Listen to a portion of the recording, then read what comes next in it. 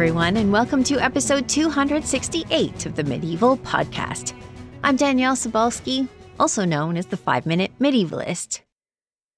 There's a general impression of the Middle Ages that wherever you started out in life is where you ended up. As the man in the pillory in A Knight's Tale says, you might as well try to change the stars. But for those with ambition, especially in a cosmopolitan city like Venice, the circumstances of your birth were simply that your humble beginnings. With a few business smarts, the right connections, and a willingness to play fast and loose with ethics, sometimes a person could rise to the very gates of heaven. This week, I spoke with Dr. Alan Stahl about the ambitious and audacious Condulmer family. Alan is the curator of numismatics as well as being a lecturer in the Department of Art and Archaeology, Classics and History at Princeton University. In addition to having been the curator of medieval coinage and of medals at the American Numismatic Society for two decades, Alan is also the author of more than 10 books, including The Venetian Tornesello, a medieval colonial coinage, and Zecca, the Mint of Venice in the Middle Ages. His new book is The House of Condulmer, The Rise and Decline of a Venetian Family in the Century of the Black Death. Our conversation on numismatics life in one of the richest cities in the medieval world, and the fate and fortunes of a family who climbed the social ladder to the very top is coming up right after this. Well, welcome, Alan. It is so nice to meet you. Welcome to the podcast. Glad to be here. So, I wanted to start with what you do when you're not writing about Venice, which is you are a curator of numismatics. And I think this is such a cool field and want everyone to know what it is. So, what is numismatics? Numismatics is the study of coins, actually, coins, paper money, tokens, medals, decorations. We generally aren't into electronic monetary transfers, but it's hard to curate those. yeah, absolutely. So, is that what got you into Venice, looking at coins? Actually, yes. My degree is in medieval history with secondary fields in medieval archaeology and medieval art history, but I took a summer seminar at the American Numismatic Society in New York, which is a, a not for profit dedicated to research in coinage, ancient, medieval, etc and worked on a project there that became my dissertation topic the most obscure of medieval coins, seventh century France. and when I got out on the job market in 1977, the job market was very tight. People who complain about how tight the job market is these days, it was at least as tight in 1977. And I got an offer of a job at the American Numismatic Society as curator of medieval coins. And I think within a month of my starting that job in 1980, a coin dealer came into my office with a bag of 10,000 coins and said, These were just found. We don't ask questions at that point. Uh, perhaps we should, but we don't. And he said, I can loan these to you for a few months if you will pick out the valuable ones so I can sell them separately. This is the kind of deal we make or we made. Uh, I haven't come across this thing in the past couple of decades. The coins turned out to be coins of Venice. So I wrote a short book, which called a monograph, on the hoard and those coins, that kind of coinage, turns out to be interesting. As far as I know, it's the first time in at least medieval history that a state like Venice created a separate coinage for its colonies. In this period, Venice controlled Crete, Corfu, and several parts of mainland Greece. And they made this really terrible coin and made it circulate in their colonies and kept it from circulating in Venice itself. And this was quite a feat, but it's sort of one of the early stages of the colonial process whereby what we call metropolitan states, Venice being a state actually, as well as a city, managed to exploit its colonies. anyway, in the course of writing that, I got a fellowship to go to the State Archives of Venice and look for more information on that coinage and found a lot. And while I was there, I found a lot of interesting stuff about the Mint of Venice that hadn't been published or studied before.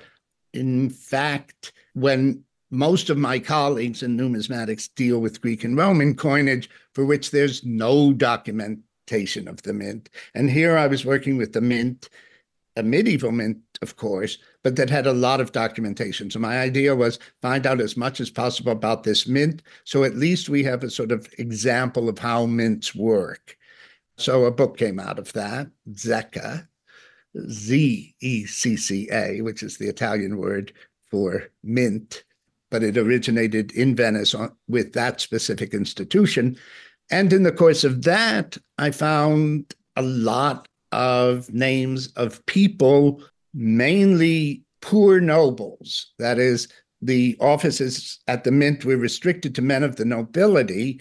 And I was able to acquire a list of like a hundred names of people, but none of them matched up the people that you read about in other sources. That is, the wealthy great merchants of Venice and heads of state.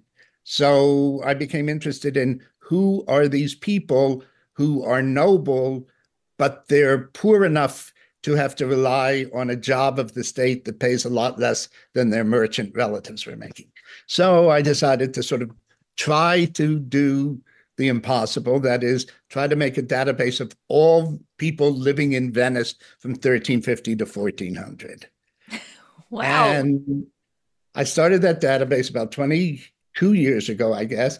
I now have records on 10,000 people taken from 10,000 documents, and I'm continuing to build the database. But at one point, I was asked to give a talk at Princeton to the Renaissance Studies Group, and it had to be 45 minutes. And you can't present a database of 10,000 people in 45 minutes. So I had to choose some interesting people. And so going through my notes, I found that I had a lot of information on this one very obscure family, the Condulmer, that part of it seemed to be in the nobility and part of it was out of the nobility, which isn't that unusual, but it still was interesting. And so I decided to focus my study, at least for the next book, on this family and got grants to go back to Venice. I got a Guggenheim grant and several grants from the Gladys K. Delmas Foundation that specializes in supporting Venetian research and looking for anything I could find about this family. And this book is the result. I love that you've taken us on this journey because I know that there are a lot of people that listen to this podcast that are at the beginning of their medieval studies journey and they think that they have to have it all figured out right away. But most of us follow a path that kind of meanders and takes us places we were not expecting. So I'm glad that you shared that with us. Yeah, definitely. And just looking ahead, if I can, for my next book, I had gotten a grant from the Donos Foundation to go back to Venice in the summer of 2020. That, of mm-hmm. course, was COVID. Mm-hmm. So I used that money to have a lot of my work comes from the records of notaries who basically record any transaction that happens in Venice. That that's an exaggeration, but there are hundreds of thousands of records of notaries in this period that there's just too much of it for anyone really to go through it all. But what I decided to do was use that grant money to have the archives make a copy of one notary's records, which I estimate come to about 10,000 records over about 10 years. And I'm just now, now that this book is out, plowing through those records and adding them all to my database. And I'm not sure what's going to emerge. Again, I'm hoping that something very interesting and perhaps unsuspected emerges. Maybe one business that went bankrupt and all of the documentation is there about the fights of the members. And then I can go back and see who they were and who their families were from the database. But yeah, I'm sort of letting the documentation lead me where it leads me rather than starting and saying, this is what I'm going to look for because there's just too much to look at. Well, I mean, congratulations on this database. I know that it's going to be so helpful, not only to your work, but in the future for people to be able to find these members of Venetian society. It's the type of work that we all dream exists, but, you know, only a well, few I mean, chosen people my, do it. one of my concerns is how to make it available to the public, especially scholars, and still keep on working. And so that when I've finished my contributions, it will be out there. I've never had anyone collaborate with me on it because I found I do other projects that involve collaborative databases, that there's always a discussion on how to code certain things, and that one person views the data uh, one way and another person will interpret it and code it a different way. And so I've, yeah, I may be wrong in the way I'm interpreting these documents, but at least I'm consistent.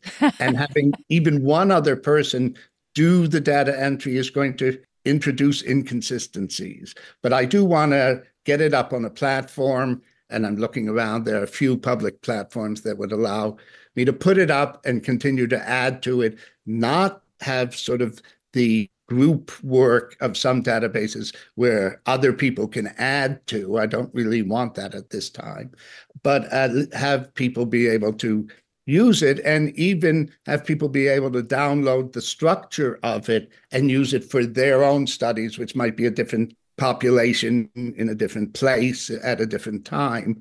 But I found that the database structure that I devised with no real forethought 20 some years ago on FileMaker Pro, if anyone's, although it was just FileMaker at the time, it became Pro about 10 years later. If anyone's interested in knowing it, it I find it a very intuitive and easy to use database.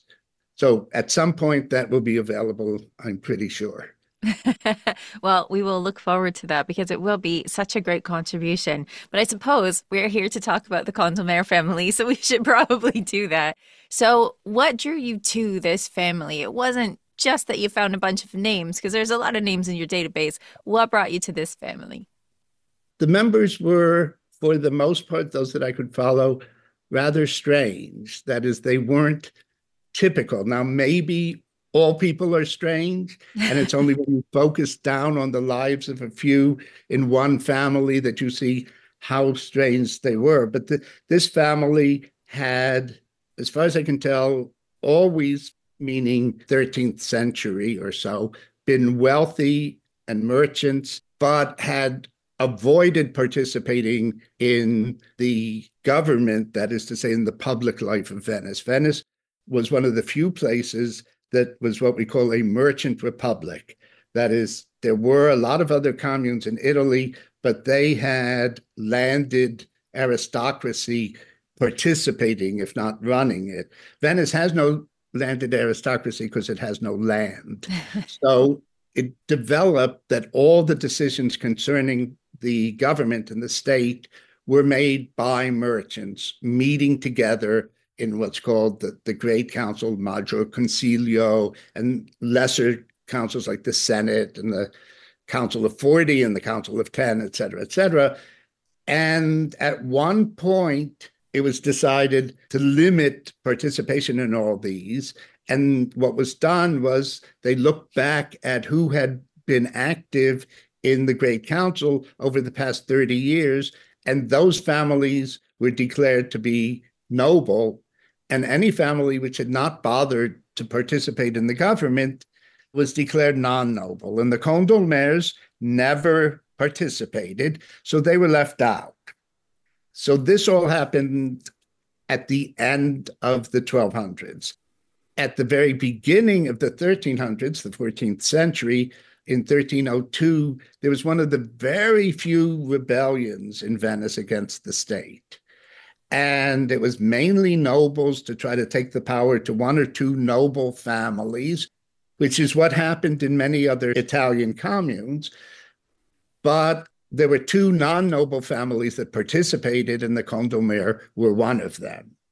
And as a result, members of the family were exiled from Venice and their homes were taken. But somehow that was 1302. By 1330 and 1340, they were back in Venice and back building wealth, but they were still not noble. And we've got records of one of them. Well, one of them, again, good records survive if you're willing to look. This guy died in the Black Death of 1348, Nicoletto, and he had named executors but this was the Great Plague that killed probably at least half of the population of Venice at the time. So his executors died either before him or at least before they could start executing his estate. So the state had an agency called the Procurators of St. Mark's that took over as executor to estates whose executors were dead already, or in other cases where the person died intestate. And so all the commercial records of this guy exist in the records of the procurators of Venice. So I was able to reconstruct exactly what he owned at the time of his death in 1348, including what merchandise was on ships that were going out from Venice and coming in from Venice. And he was very wealthy, had a lot of connections, but all of his heirs had died. So his entire vast estate went to found a hospital on the island of Murano. And that hospital existed into the 19th century. So, this is again part of the story of how these public institutions depend on private benefactions. Anyway, the Black Death brought a lot of changes to Venice, one of which was killing off some families entirely, but sort of weeding out. So instead of having what I estimate to be like 12 male head of households in this family at the beginning of 1348, by the time the plague had finished in 1350, there were far fewer. But how that played out was that the wealth of the family was concentrated into fewer hands. And then the big break came in the one of the wars with Genoa. Venice was always fighting with Genoa for control of the Mediterranean in what we call the War of Chioggia in 1378, because Genoa got into the lagoon of Venice and had captured the city of Chioggia, which is a sort of outlier part of Venice. In desperation to fund the effort to counterattack the Genoese fleet, the state of Venice offered entrance to the nobility for 30 individuals who gave the most money to the war effort. Mm-hmm. Sounds like a good deal. well, interestingly enough, yeah. But they were very selective, and there were two members of the Condulmer family who pledged and presumably gave lots of money to the war effort, including sending their sons as captains of ships, etc. One of them got rejected, and as far as I can tell, he was the wealthier. Certainly, we have a record of what he offered in the war effort, and he was turned down. But this other member, Jacobello, who has a chapter in the book, was accepted into the nobility, but he died two months later. And in retrospect, looking at what happens to his family and his estate, it appears that he had borrowed money he wasn't entitled to from a nephew's estate that he was administering, various other things he had done sort of mortgaged all the, their property to come up with this money to buy his way into the nobility. Well, he died two months later, and his widow and son, decades later, were complaining they were still trying to pay off his debts. and the more that I thought about it and looked at other members of the family, the more this seems typical that they were real strivers. Now, our system of ethics would not go very far with medieval merchants of Venice. Mm-hmm. But even by the ethical standards of the medieval merchants of Venice, I think this family fell down. And in my chapters, I devote a chapter to each member of the family whom I know a lot about. And all of them seem to have had some fatal flaw or at least lived their lives without showing any of the virtues that Venice at least claimed its citizens displayed. Yeah, I mean, I was thinking that I was thinking about ethics as I'm reading it because here and there they're they're cheating the system and they're getting fined for this and fined for that, and it seems like just a normal way of doing business to try and cheat the system. But this family, they're gamblers in ways that are kind of extraordinary. Yeah, I mean, part of the problem is that one of the best available continuous documentation for the period is those people who were given forgiveness for various crimes.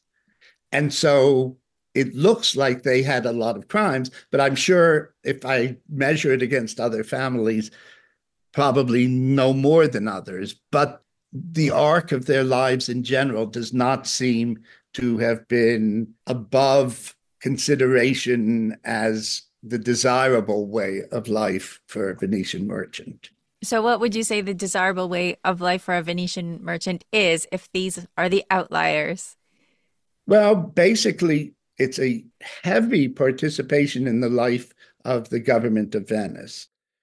There were maybe 800 people, that is, men of the nobility in the Great Council, noble men. There were about 200 offices that got given out every year.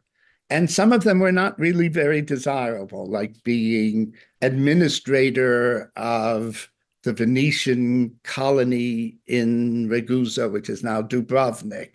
It's it's not very glamorous and it didn't pay very well. And of course, it took you away from Venice for a year, but people did that.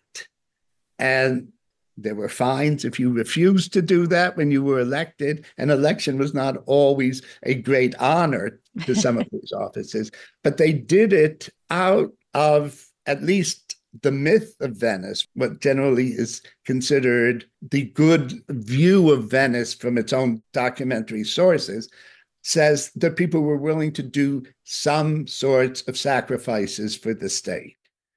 Even going to the Great Council meetings, it met every Sunday for four or five hours. So even that is an imposition on the private life of a lot of people and the merchant life because they were constantly active in different types of investments and commercial activities, buying and selling on an open market. But that seems to have been sort of taken for granted as the way a Venetian merchant, especially a noble one, would act. Well, the, the Condottieri just don't fit into this way. They imitated it. They looked like they were members of the nobility. There's one of them, Vielmo, who is a very wealthy money changer. In Venice, money changers also were involved with collecting coins for the mint and various other things. And ultimately, many of them were bankers.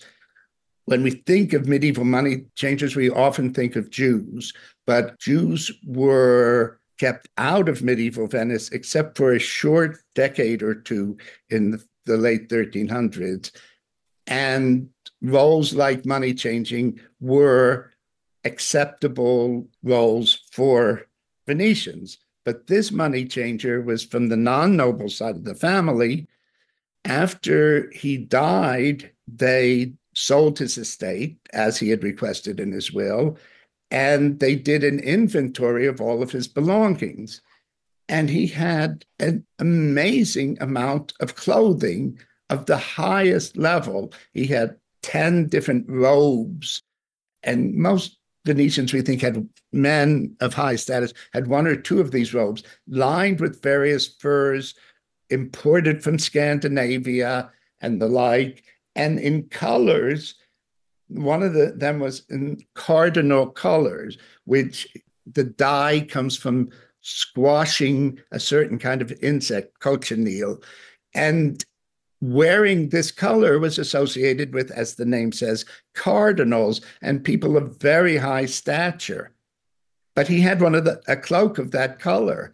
So he must have appeared in public and he he went to the the marketplace in Rialto every day as a money changer. So he was a very public figure. He must have appeared as a very extravagant and wealthy and high status person, except that in Venice, everybody knew everybody. It was a very closed society, especially at the top. So people must have known he was faking it. there were laws called sumptuary laws to control what people wore, but they were they were commonly ignored. But he, as a non-noble, was wearing things that definitely he should not have worn. And to my mind, this is typical of the family. Do you think that there's a point at which that's advertising for the people that are coming in and out of Venice for trade and stuff? Advertising that you are a good bet as a banker, as a money changer? Absolutely. They must have been very impressed. In fact, in that inventory, it gives other rooms in his house, and one of them has his great desk. Apparently, he met people at his table in Rialto, but took them to his home to do the final transactions. And he had a great desk which bore the arms of the noble Querini family. Well, he was in no way a member of the Querini family or even remotely connected to it. He must have bought this secondhand. But when people came to his house, it looked, and they probably didn't recognize the heraldic arms of Querini. We also have his account books, which is very rare for medieval Venice, and we know whom he dealt with in terms of business. And most of the silver he bought was from people outside Venice, especially people coming from Germany, including Jews, and also from the other side of the Adriatic, Serbia, Croatia, etc., to use modern names, was very rich in silver. So that's who he bought the silver from. And these would all be people who would come to his room and just be so impressed with his palace and his clothing and not realize that they were dealing with someone who wasn't a noble. But then he sold the refined silver that he got back from the mint to very high status noble people. So again, they probably laughed at him behind his back, but they did business with him. Mm-hmm. And at some point, I guess that's a fair trade where you can laugh yeah, at me yeah. as long as yeah. I get to wear my robe. yeah, I mean, he he got what he wanted apparently, which was lots of money and recognition of a high status. It sort of confirms this when I add up all the money that was paid when his estate was auctioned off following this inventory. The clothing brought half as much money as his palace. That's crazy. That's such a stunning figure. Right, right. well, clothing was very expensive, which is why most people only had one or two robes, not mm-hmm. a whole wardrobe of them as he did. But try to like compare anything that you might have in your house that's worth half as much as your house is right. spectacular. Spectacular. Yeah. so a lot of the information that you were gathering for this is coming from wills and one of the examples of the sort of elevation that the family is trying to reach really comes clear in one of the wills. The husband of the Colimare woman, Francesina, hopefully I'm saying her name right, where her husband's name is Angelo, saying he has all these daughters. They can have this much money from his estate, but only if they get married between 13 and 14 and to a noble family. So I just want to say for the listeners, getting married at 14 is something that is kind of almost unique to Italy. It doesn't happen a lot, at least in the the ranks that are lower than the nobility. But here, there is a goal. Somebody is going to be married into a noble family by the time all of this marrying is done, right? Yeah, Angelo had seven daughters married into the nobility. He was from the non-noble branch.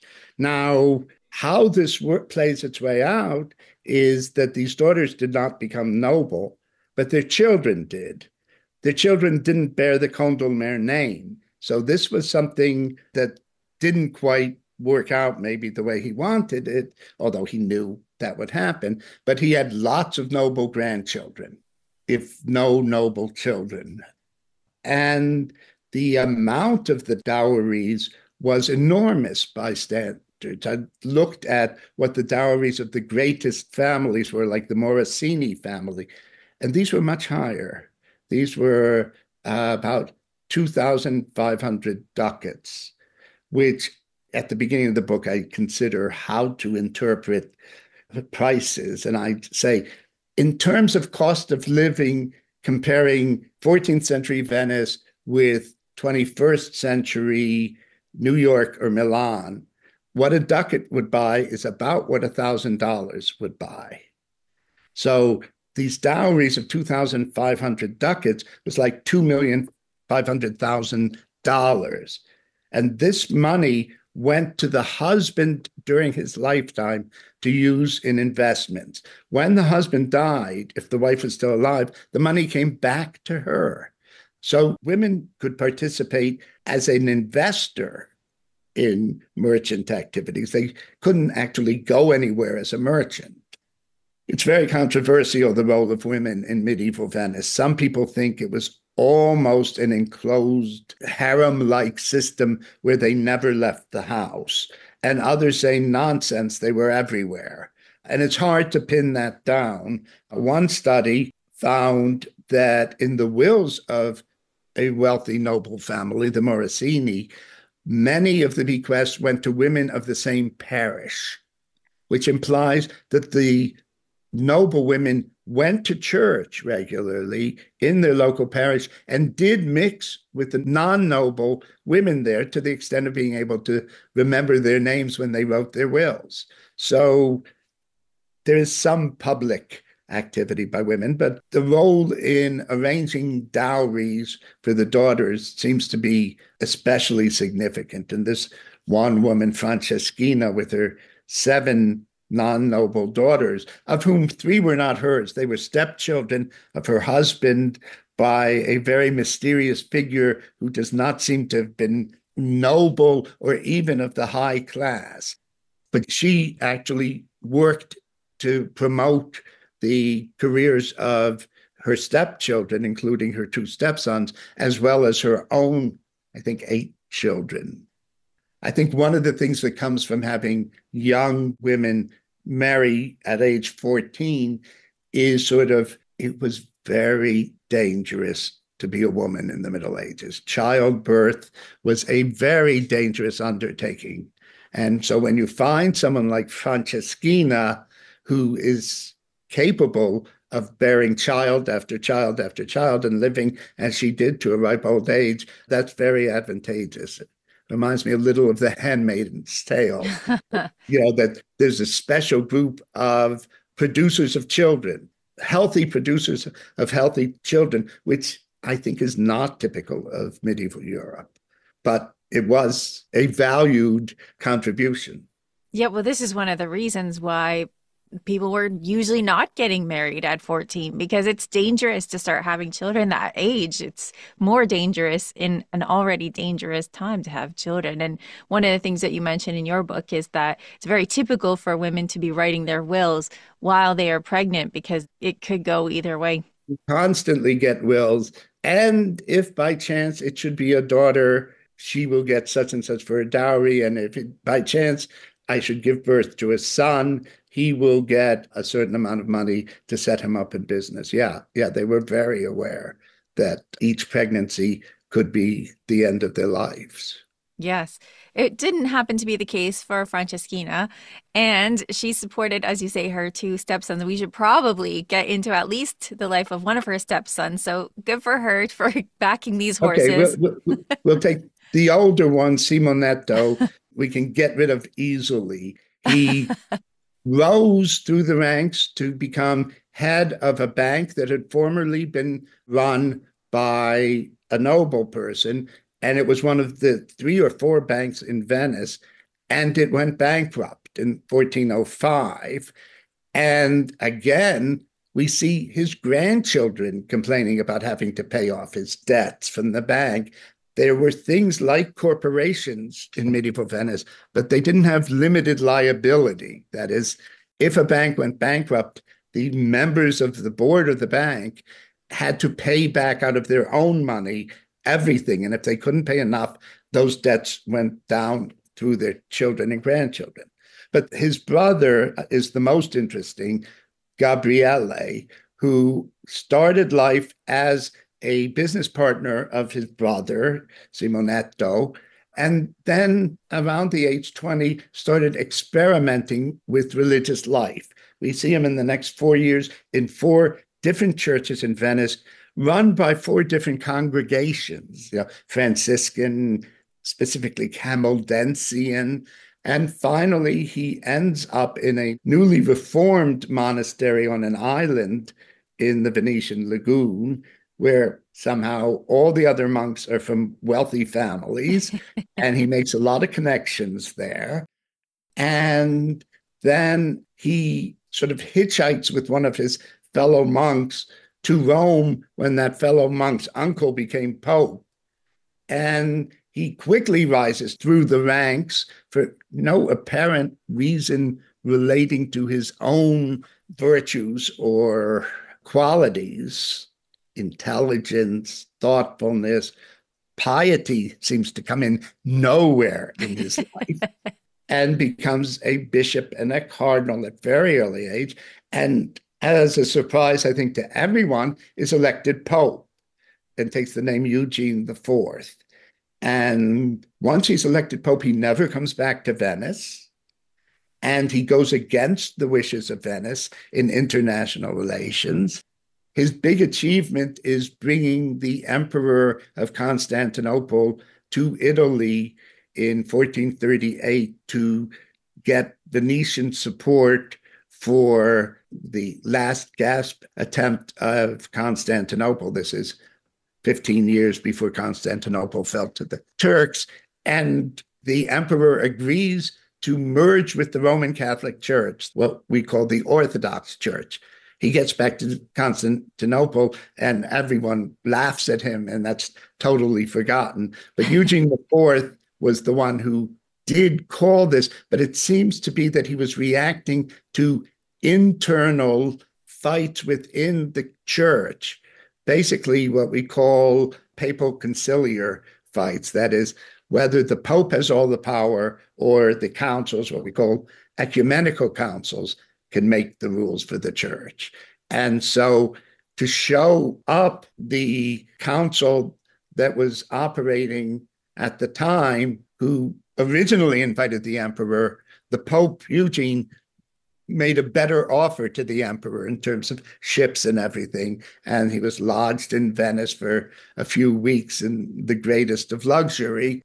And this is just one of the things he did during his career that seems to be against what might have been the better interests of the Catholic Church, because this is the period in which Protestant thinking and Protestant rebellion against the excesses of the papacy are growing.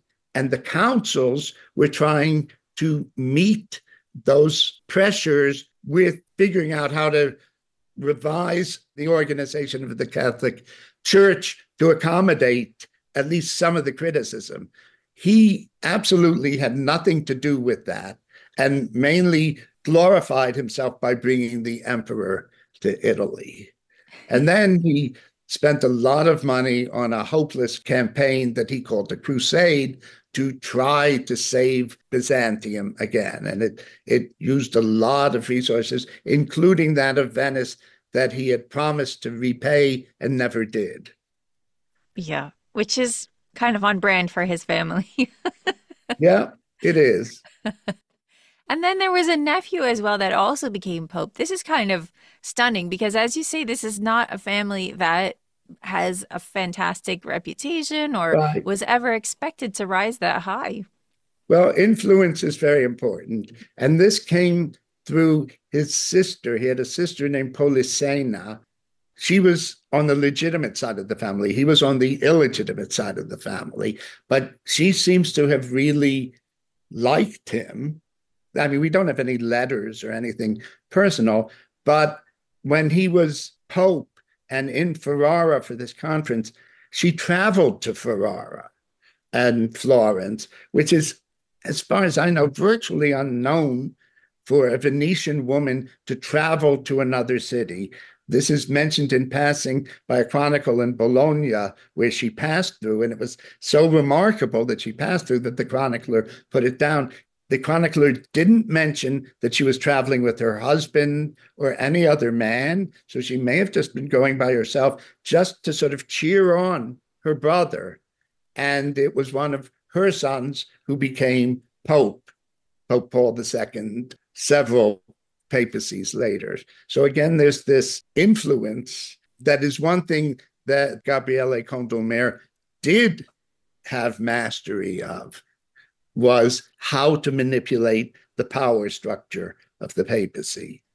He doesn't seem to have written any important papal bulls or given any recorded sermons or anything else you would expect from a great medieval or maybe now we can say Renaissance pope. But he did manipulate power to the point of raising armies to participate in what's called the Insular Wars, the 15th century wars between Milan and Florence and Genoa and Venice. Well, now the papacy had an army in it. And that seemed to be what he was most interested in wielding power as a political player in Italian politics. It's pretty impressive. And I think that there is no understanding the papacy, especially at this point in the Middle Ages, without understanding the family dynamics, because all of this stuff happening behind closed doors it's all based on these relationships that people have between each other and it really it plays out on a big big stage it's kind of kind of impressive yeah there's another relationship behind closed doors that i deal with but it's really hard to document early in his career as pope the senate of venice sent him a few warnings about the gossip that was going around about his relationship with one of the men who was a servant of the papal bedchamber. And then it looks like his attention went to another young man and another young man. And we can document that, but we, of course, can't document what their relationship was. But it's not uncommon in the Renaissance for there to be alliances between an older, powerful man and a younger, less powerful man. And we know from some court cases that these were sexual as well as just other kinds of relationships, which makes you start to think backwards of how he might have risen in the church hierarchy with this pope who was the uncle of his fellow monk and the two of the boys traveled together in the court of this Pope uncle. So there may have been a relationship in there that, of course, doesn't get documented, but that doesn't mean it shouldn't be questioned as to whether it, did exist and whether it's an important thing in the life of this person, the life of this family, and the life of the Catholic Church. Yeah, well, I think well, what you've been able to demonstrate both in this book and in this podcast, we do we do have to wrap it up now. But what you've demonstrated is the way you can start to pull threads by just looking at documentary sources that could be dry. You know, the fines, the wills, or the court cases. All of these things will give us a better picture of a family, and together they create this tapestry and show you what you can actually find in Venice at the time. So as we wrap up, what's the most surprising thing you found in the research of the Condulmer family that just made you think, wow, this is a reward in itself studying this family? Because sometimes it can be a lot of work, but you find those moments that just feel great. Well, I guess the one sort of eureka moment had to do with Gabriele, the Pope, who in his biographies is said to have been married to a sister of the Pope whose retinue he was in. But that sister doesn't exist in archival records, and she should, because we know a lot about that family. So there's been a long time speculation as who could his mother have been. And just by sitting down with the wills of his stepsisters, written later in some cases, one of them appoints her mother as her executor. And she only gives the first name Pasqua. But the fact that this woman is not identified by last name, does not appear in documents as the mother of these important rich merchants, but yet is made executor, shows she's not a slave. And there was a lot of what we would call concubinage, for lack of a, a more polite or a less polite word. There was a lot of sex between Venetian men and their female slaves. Slavery in Venice was mainly household slavery, clean the house, make the food, etc., etc.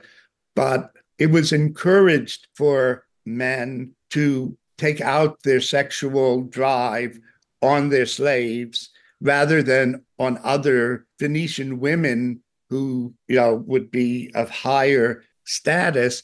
And one of the most important things about this patriarchal society and others like it is you always have to know who the father of a baby is. And mm-hmm. so that's what a lot of the control is for is to make sure these women cannot conceive by anybody else. And therefore you encourage your men to take out their sexual drives certainly with their wife as long as she's childbearing, but also if they're going elsewhere or before they're married, because Venetian men didn't get married till about age 25. There's always this gap with slaves and perhaps with other men of lesser social status. Mm-hmm. The Handmaid's Tale all over again. It, yeah, well, she probably read a certain amount of medieval history, if not Venetian. Yes. Well, Margaret Atwood definitely read Chaucer, so I would not be yeah. surprised. She's a well, read woman. Well, I want to thank you for coming on and not only showing us about the Condulmer family, but about the way that you do detective work when it comes to historical records, because I think both of these things are so fascinating. And I'm just so happy for you to come on the podcast today and tell us all about it. So thank you, Alan, for coming on. I'm always happy to talk about my research and about the Middle Ages in general. To find out more about Alan's work, you can visit his faculty page at Princeton University. His new book is The House of Condulmer The Rise and Decline of a Venetian Family in the Century of the Black Death. Before we go, here's Peter from medievalist.net to tell us what's on the website. What's up this week, Peter? Hey, hey. So it's Christmas season now upon us, right? Uh-huh. Which means holiday shopping. Yes, holiday so, season, holiday shopping. So I've set up a, a, list of what I call the 10 perfect gifts for a medievalist. Mm. Yeah, and it's not necessarily stuff that I want, but I do actually want them all. But we have this nice little list of, of things like I think are fairly affordable that you can get for a medievalist. Stuff, you know, from 10 bucks to a couple hundred bucks. Mm-hmm. You know, you can go classic. You can do the Lewis Chessman. Yes. So. Well, I know that you personally are collecting those. So that I think that was first on your list, which is definitely self-serving. I think you're dropping hints to people. Indeed, indeed. The thing I don't have is a the chess set, full chess set. Just saying. But uh so there's there's that. You know what's really cool is the Lego version of the Cathedral of Notre Dame. That is cool. It's not kiddie thing. It's four thousand three hundred eighty-seven pieces. that was going to keep you busy for a while, but I I do like those Lego builds. I was gifted that Lego blacksmith's shop. I don't know if you've seen those a couple of years ago, and oh, yeah, I loved it. It was super fun to build. So yeah, Lego's got great stuff. So you, you can do that. There's this medieval music sampler that just came on the market. So if you need to have little samples of Gregorian chants, who doesn't? Honestly, yes. I also think coins they're pretty cool to get, and also facsimiles of medieval manuscripts. Mm-hmm. They're fairly expensive, like you can get the real ones for, you know, hundreds of thousands of dollars, but the, the facsimile is just a few hundred. Yes, and they are gorgeous. I've seen a lot of facsimiles, especially from Facsimile Finder, somebody that I know and have met at Kalamazoo, and those are just just gorgeous. So if you have a fairly healthy budget, that is definitely an option. Mm-hmm. So we have this list of ten gifts. Also in the news is the return to the church for the relics of Saint Eanswythe. Okay. I think I got that right. I'm going to so, take your word for it because I cannot see the word. It's funny. This news hasn't has been a little under the radar, but it's it's really interesting. Like there was this seventh century English princess. She got sainthood, and in the church that supposedly held her remains, they found some bones in the 19th century, and they were like, ah, you know, what are we going to do with it? And they kept it around. But a few years ago, some researchers did a bunch of tests and confirmed them to be, you know, of a, a woman living in the seventh century. So it almost certainly must be her, right? That's amazing. So they just actually had a ceremony of returning her back there. There's some like wonderful photos and video from that as well. So check that out. Nice. Finally, also Steve Tibble has a new piece on whether or not the Templars were a secret cult. A secret cult. Well, Yes.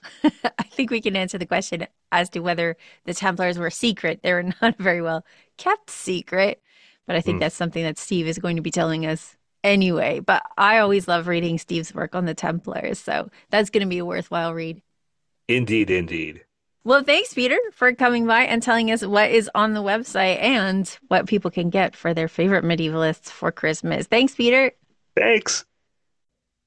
What if I told you it was possible to give a really cool medieval gift this holiday season and support indie historians, including your favorite podcaster? In addition to the awesome t shirts you can get at teepublic.com, Medievalist.net has opened up a shop at redbubble.com featuring holiday cards, tote bags, and notebooks with adorable new art and classic medieval images. And when you support Medievalist.net, you help keep the lights on here at the Medieval Podcast. It's win win. If you'd like to keep your support going throughout the year, please check out patreon.com slash medievalists because patrons are always on Santa's nice list. For everything from Venice to tennis, follow medievalist.net on Instagram or Blue Sky at Medievalists. You can find me, Danièle Cybulskie, across social media at 5MIN Medievalist or 5 Minute Medievalist. And you can find my books at all your favorite bookstores where you can get hold of Chivalry and Courtesy, Medieval Manners for a Modern World, which makes a great gift in hardcover, ebook, and audiobook. Our music is Beyond the Warriors by Guy Frog. Thanks for listening and have yourself a wonderful day.